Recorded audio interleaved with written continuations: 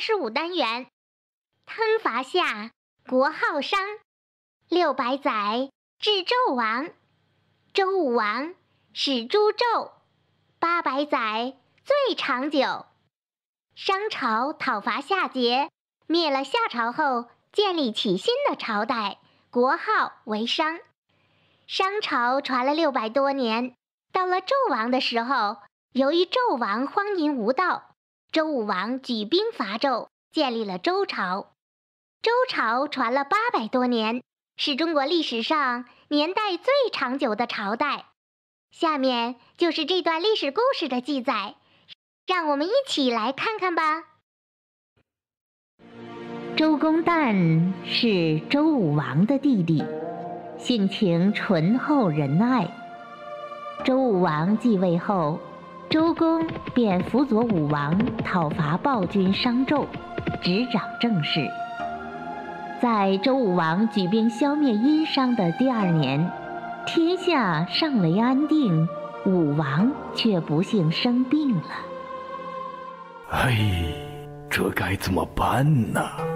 我们是不是要祭告先祖？可这不足以感动我们的先王啊！于是周公作策文，设祭坛，祭告于神，表示愿以身替死。然后将策文藏入金匮中，叮咛保管的人保密。第二天，武王就康复了。而后武王驾崩，由于成王年幼。周公便暂时掌管国事。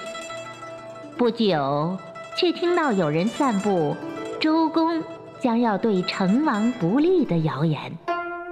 唉，武王太早离开我们了，成王又如此年幼，我之所以不加回避而代理国政，就是担心天下背叛周氏啊。为了完成周朝大业，我不得不这样做呀。于是周公不顾流言，继续尽心尽力地辅佐成王，并让儿子伯禽代替自己前往鲁地受封。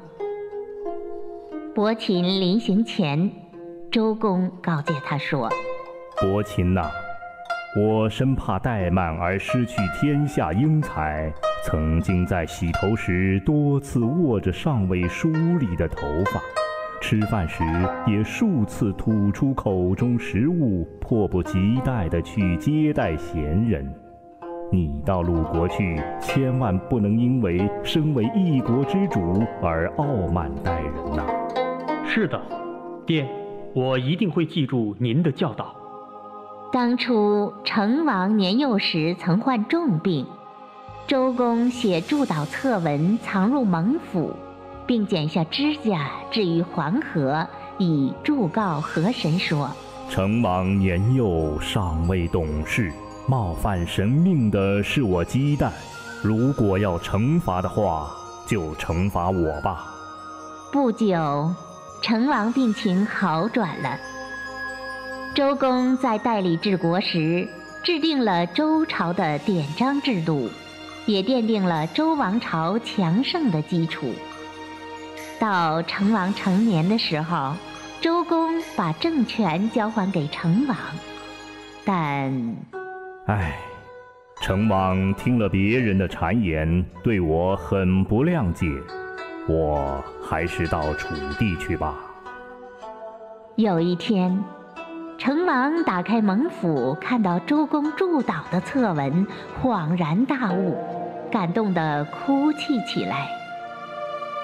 马上请周公返回京城。